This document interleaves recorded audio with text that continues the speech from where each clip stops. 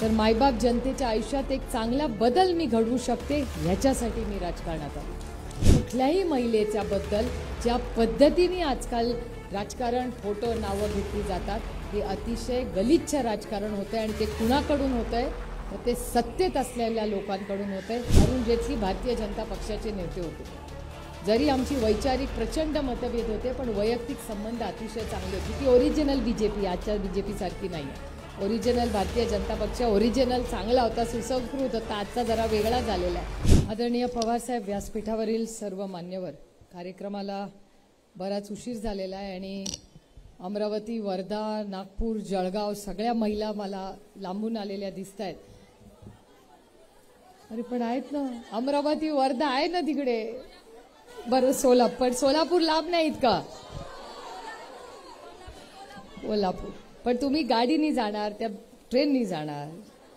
त्यांच्या ट्रेनची वेळ झाली आणि दादानी परवा काय सांगितलंय? रात्री उशिरा प्रवास करायचा. त्याच्यामुळे कार्यक्रम वेळेत संपवायला लागेल. पण आज ताईंच्या फौजियाताई आणि विद्याताईंच्या प्रयत्नातून खूप दिवसांनी एक एवढा मोठा आणि चांगला कार्यक्रम होता याबद्दल मी त्या दोघींचे मनापासून आभार मानते. जनजागर यात्रा. आपण सगळ्यांनी हे स्टिकर पाहिलंच असेल. अतिशय चांगल्या स्टिकर त्यांनी काढलेले आहे याची सुरुवात आपण आपल्या घरापासून करायची आहे. तर मी हे स्टिकर नेऊन मी माझ्या घरावर किंवा गाडीवर लावणार आहे. तर आपण सगळ्यांनी ते आजपासून आपल्या गाडीवर किंवा त्याच्यावर लावायचं आहे आणि त्याचबरोबर राष्ट्रवादी काँग्रेस पक्षाने राष्ट्रवादीचं काम आणि हुकुमशाहीची पोल खोल याच्यासाठी ही यात्रा आहे.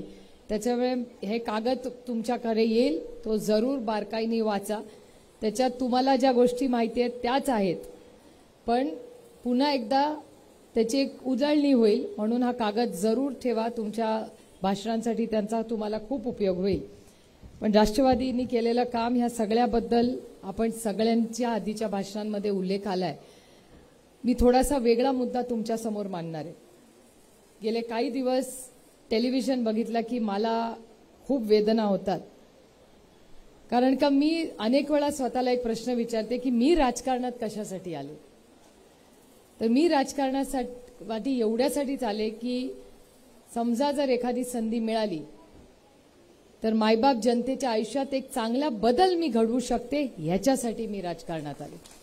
आणि त्याचबरोबर जनतेची सेवा लोकांची कामं लोकांचे प्रश्न मांडण्यासाठी मी राजकारणात आले. अनेक वेळा मी प्रश्न अनेक तुमच्यासारख्या महिला भगिनींना विचारलेला आहे. आणि साधारणपणे हेच उत्तर तुमच्या सगळ्याकडून माझ्याकडे येतं. तुमचं काही वेगळं कारण नाही. पण आज टेलिव्हिजन पाहिला किंवा वर्तमानपत्र वाचलं तर एक खंत मनाला वाटते ज्याबद्दल मी गेले अनेक दिवस बोलतही नाही आहे मला मगाशी पत्रकारांनी विचारलं की हा विषयावर तुम्ही कशा बोलत नाही?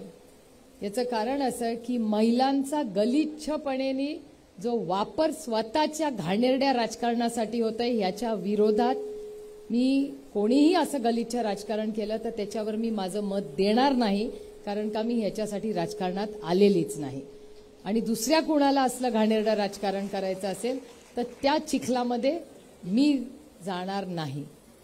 आणि त्याच्यामुळे ज्या पद्धतीने आज आरोप प्रत्यारोप होत आहेत त्याची सुरुवात राष्ट्रवादी काँग्रेसपासून आपण स्वतःपासून केली पाहिजे की जेव्हा आपल्यासाठी कोणी कॉमेंट करायला विचारतं तर आपण पहिल्यांदा सांगितलं पाहिजे की ती महिला जिच्याबद्दल आपण बोलणार आहोत किंवा तुम्ही आम्हाला विचारताय कोणीतरी खोटा नाटा खरा आरोप खोटा आरोप आपल्याला माहिती नाही.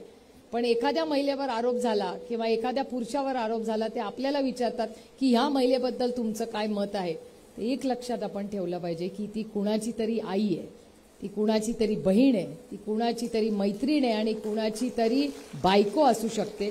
त्याच्यामुळे कुठल्याही महिलेच्याबद्दल ज्या पद्धतीने आजकाल राजकारण फोटो नावं घेतली जातात हे अतिशय गलिच्छ राजकारण होतंय आणि ते कुणाकडून होतंय? तर ते सत्तेत असलेल्या लोकांकडून होतंय.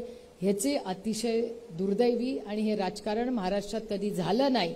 आणि त्याच्यात राष्ट्रवादी काँग्रेस पडणार नाही अशी माझी अध्यक्षांना विनंती आहे की तुम्ही आज निर्णय घ्या. कारण मला अस्वस्थ वाटतंय. मला सातत्याने अस्वस्थ वाटतंय कारण सातत्याने कोण ना कोणतरी ह्या महिलेच्या काही संबंधांबद्दल ज्या पद्धतीने आपण टेलिव्हिजनवर बघतो वर्तमानपत्रात वाचतो आम्ही आमच्या मुलांना कुठल्या तोंडाने सांगायचं की हो वर्तमानपत्र वाचा आणि टेलिव्हिजन चॅनल बघा. माझ्या आई वडिलांनी मला वर्तमानपत्र वाचायला का शिकवलं? की जनरल नॉलेज वाढेल भाषामध्ये सुधारेल बाहेर गेला तर लोकांची दोन शब्द बोलता येतील ह्याच्यासाठी आपण वर्तमानपत्र आपली बुद्धिमत्ता आणि जनरल नॉलेज वाढवण्यासाठी वाचायचं. टेलिव्हिजनच्या बातम्या का बघायचो आम्ही लहानपणापासून? की जर बातम्या बघितल्या तर आपल्या आजूबाजूला समाजात काय चाललंय ह्याची माहिती आणि नवीन काहीतरी शिकण्यासाठी आहे. आता तर टेलिव्हिजन किंवा वर्तमानपत्रातल्या ज्या सत्तेतले लोक आरोप प्रत्यारोप करतात असं वाटतं की अरे आपल्या मुलांच्या शेजारी बसून हे आरोप आपण बघावे का नाही बघावे अशी वेळ आलेली जी भाषेचा वापर होतोय हीच खरंच सुसंस्कृत मराठी बायकांची आपली भाषा आहे का? ही आपली विचार करायची पद्धत आहे का? याचं आत्मचिंतन करण्याची वेळ आली. हा महिला मेळावा आहे म्हणून मी आवर्जून हा विषय तुमच्यासमोर मांडते आणि माझी फौजियाताई आणि विद्याताईंना विनंती राहील की तुम्ही आम्हाला तुम्ही पक्षाच्या महिला आघाडीच्या नेत्यात तुम्ही आम्हाला मार्गदर्शन करा की या परिस्थितीमध्ये आम्ही काय करायचं पक्ष म्हणून आणि पक्षाचं या बाबतीतलं धोरण काय? कुणाच्या वैयक्तिक आयुष्यात काय होतं? ह्याचा पक्षाची काय संबंध? त्यांचे कोण आपल्याकडे आले त्याच्यावर आपण एखाद्या वेळेस बोललो. म्हणजे रुपालीताईंची जबाबदारी वेगळी आहे पण त्या वेगळ्या पदावर आहेत. त्या पदावर आपण नाही आहोत कोणी. त्याच्यामुळे त्याचा जो काही निर्णय घ्यायचा असेल ते ते महिला आयोग घेईल. त्या प्रत्येक महिलेवर प्रत्येक कृतीवर आपण बोललंच पाहिजे हा आग्रह कशासाठी? मी आज या राष्ट्रवादीच्या व्यासपीठावरून आवर्जून अरुण जेटलींचा उल्लेख करते. अरुण जेटली भारतीय जनता पक्षाचे नेते होते. जरी आमची वैचारिक प्रचंड मतभेद होते पण वैयक्तिक संबंध अतिशय चांगले होते. ती ओरिजिनल बीजेपी आजच्या बीजेपी सारखी आहे ओरिजिनल भारतीय जनता पक्ष ओरिजिनल चांगला होता सुसंस्कृत होता आजचा जरा वेगळा झालेला आहे. पण त्यावेळीस त्यांनी मला एक गोष्ट सांगितली होती ती अजून मला आठवते. ते पार्लमेंटमध्ये बोलले होते म्हणजे ती रेकॉर्डवर गोष्ट आहे की ज्या दिवशी वर्तमानपत्र आणि टी व्ही असल्या गोष्टी दाखवणं बंद करेल ना ही लोक असलं वागणं बंद करतील. त्याच्यामुळे ही एक संधी आहे. मी हात जोडून विनंती करते सगळ्या चॅनल्सला की मला गोष्ट तुम्ही सत्य दाखवा जरूर दाखवा. पण ज्याला हिंदीमध्ये आग की मर्यादा म्हणतात आग की शरम म्हणतात ती एक महिलांची आग की शरम असते आणि आम्हाला समतेचा भाव करतो पुरुषांच्या बरोबरीने आम्ही काम करतो पण आम्ही महिला आहोत याचा आम्हाला सार्थ अभिमान आहे. आणि ती आग की शरम ही आमच्यात आहे आणि ती आम्हाला ठेवायची आहे. त्यामुळे या सगळ्या ज्या पद्धतीने आज वातावरण दूषित आहे आणि महिलांबद्दल ज्या पद्धतीने बोललं जातं हे प्रचंड वेदना दे- देणार आहे. आणि याच्यासाठी मी तरी राजकारणात आले नाही. आणि काही दिवसांनी अशी वेळ होईल की आपल्या सगळ्यांच्या घरातून म्हणले जातील की खरंच या चिखलफेक जी चालली आहे हे राजकारण तुम्हाला करायचंय का? हा प्रश्न जर तुमच्या वडिलांनी भावानी नवऱ्यानी विचारला तर मला आश्चर्य वाटणार नाही. कारण का तशीच परिस्थिती झाली आहे. पण ह्याच्या विरोधात आपल्याला लढायचंय.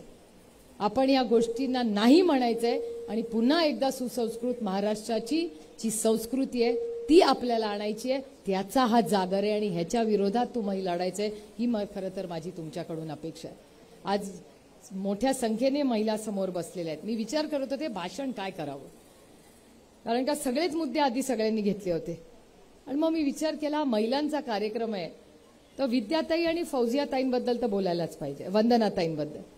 वंदनाताई आणि फौजियाताई ह्या देशातल्या राज्यसभेच्या सगळ्यात हाय परफॉर्मिंग खासदार कोण असतील तर राष्ट्रवादी काँग्रेस पक्षाच्या या दोन आहेत आणि गंमत म्हणून सांगते अनेक वेळा आम्ही आपलं कागदपत्र घेऊन भाषण करत असतो चिट्ट्या बिट्ट्या करत. आणि एरवी मी आणि वंदनाताई म्हणतो अरे कागद वाचवा पर्यावरण वाचवा. हे मी आणि वंदनाताई फक्त भाषणापुरतं बोलतो. कृती फौजियाताई करतात.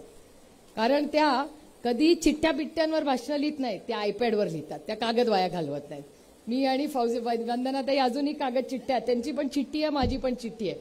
फौजियाताईंचा आयपॅड असतो. पार्लमेंटमध्ये त्यांची सगळी भाषणं काढून बघा त्या आयपॅडवर भाषणं करतात. त्यांचे सगळे नोट्स आयपॅडवर असतात. त्या एकही कागद वाया घालवत नाही. आता मी आणि वंदनाताई प्रयत्न करतोय पण आम्हाला दोघींना काही जमतच नाहीये ते अजून. पण आम्ही प्रयत्नाती परमेश्वर. आम्ही पुढच्या सेशनला प्रयत्न करू की आयपॅडवर म्हणजे कागद वाचायला नको. पण खरंच आपल्याला अभिमान वाटला पाहिजे की आपले चार खासदार आहेत राज्यसभेत. आदरणीय पवार साहेब माननीय प्रफुल्लभाई वंदनाताई आणि फौजियाताई. आणि चारपैकी फिफ्टी पर्सेंट खासदार महिला आहेत. आणि त्या दोन फिफ्टी पर्सेंट या देशातल्या राज्यसभेतल्या सगळ्यात हाय परफॉर्मिंग आहेत. आणि मी म्हणत नाहीये हा केंद्र सरकारचा डेटा म्हणतोय. वाईस प्रेसिडेंट ऑफ इंडिया म्हणतात सबसे अच्छा परफॉर्मन्स कौन करता है? वो एनसीपी करते और सबसे अच्छा कौन भाषण करता है? तो वंदना जी और फौजिया जाय हे ते चेअरवरून म्हणतात.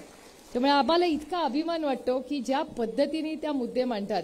आणि मागच्या वेळेस तर व्हाईस प्रेसिडेंटनी भारतीय जनता पक्षाला सांगितलं होतं की तुम्ही भाषण करायला शिकायचं आहे ना तुम्हाला तर या फौजिया आणि वंदनासारखं भाषण करा असं ते म्हणले होते. हे ऑन रेकॉर्डच्या गोष्टी आहेत. मी कुठलीही गोष्ट माझ्या मनातली काल्पनिक मी टीव्हीवर पाहिले. आणि रोज आम्ही जेव्हा चहा बीला ब्रेक मिळतो तेव्हा मी बघते कधी राज्यसभेचा टीव्ही लावा? वंदनाताई तरी बोलणार नाही तर फौजियाताई तरी बोलणार. बाकीच्यांना संधी देतात का नाही मला जरा डाऊटच वाटतंय. कदाचित बाकीचे सगळे खासदार यांच्या विरोधात एक दिवस आंदोलन करतील की या दोघीच कसा रोज बोलतात? भारतीय जनता पक्षातला पण रोज कोणी बोलत नाही पण ह्या दोघी काय जमून आणलंय तिथे मला माहिती नाही. आता मी आणि पाटील काका वि- विचारणार आहे की काय म्हणजे सेटिंग नाही म्हणत आहे मी पण तुम्ही तर रोजच दोघी असता. कसं काय मिळते संधी चेतन दादा तुम्ही मला म्हणता ना चान्स मिळत नाही? इथून शिका. या दोघी काय म्हणजे चेतन दादा सगळे म्हणतात आम्हाला इतकं बोलायची संधी मिळत नाही. ह्या दोघींना कशी मिळते माहिती नाही. तिथे तर थ्री नॉट थ्री आहे. इथे तरी साधे तिथे एवढे तीनशे खासदार आमच्या अंगावर येतात. तरी या दोघी व्यवस्थित शांतपणे बॅटिंग करत असतात. त्याच्यामुळे आदर्श लोकप्रतिनिधी म्हणून आपल्याला खरंच ज्याचा अभिमान वाटेल असं काम राष्ट्रवादी काँग्रेस पक्षाच्या आपल्या महिला लोकप्रतिनिधी करतात. त्यानंतर एम एल ए म्हणून सुमन वहिनी असतील सरोजताई असतील किंवा आदिती असेल. आदिती तटकरेने तर अतिशय उत्तम काम एक पालकमंत्री म्हणून केलं. रायगडसारखा मोठा महत्त्वाचा जिल्हा. त्या ठिकाणी पाऊस येऊ दे कोविड असू दे किंवा कुठली अडचण येऊ दे ही मुलगी ट्वेंटी फोर बाय सेव्हन पालकमंत्री म्हणून अतिशय उत्तम काम आदितीने केलं आणि पहिल्यांदाच निवडून आली. याचं आपल्याला खरंच कौतुक आहे. सुमन वहिनींचं उदाहरण बघा. आबा गेले आबा जाईस तोवर या देशाला जगाला. आबा सगळ्यांना माहिती होते काश्मीरपासून पण सुमन वहिनींना कोणी ओळखत नव्हतं. वै सुमन वहिनी घरी असायच्या. पण आज कुठलंही काम असलं तरी सुमन वहिनी मंत्रालयात आम्हाला कुठेतरी भेटतात. म्हटलं वहिनी इथे काय काढलं? नाही कामासाठी आले होते. आपला वर डोक्यावरचा पदर त्यांचा हलत नाही. पण मतदारसंघातलं काम आणि काम वहिनी आबा गेल्यानंतर ज्या सामर्थ्याने केलंय आपल्याला अभिमान वासेल अशी आपली वहिनी सुमन वहिनींचं काम आहे. आणि सरोज ताईंचं तुम्ही बघितलं असेल या राज्यामध्ये ज्याला इंग्रजीत क्रेश म्हणतात म्हणजे मुलं ठेवायची जागा जिथे आपण काम करत असताना मुलं ठेवून जाऊ शकतो हे असेंब्लीमध्ये कुणामुळे झालं? तर ते सरोज ताईंमुळे झालं. कारण का त्या त्यांचं तानं बाळ घेऊन असेंब्लीमध्ये गेल्या. आणि मुख्यमंत्र्यांना निर्णय घ्यावा लागला की आज महिला भगिनी लहान तानी मुलं घेऊन इथे येतात त्यांच्यासाठी जागा झाली पाहिजे. आणि ते पण काम हे कुणामुळे झालं? तर राष्ट्रवादी काँग्रेसच्या आपल्या महिला आघाडीमुळे.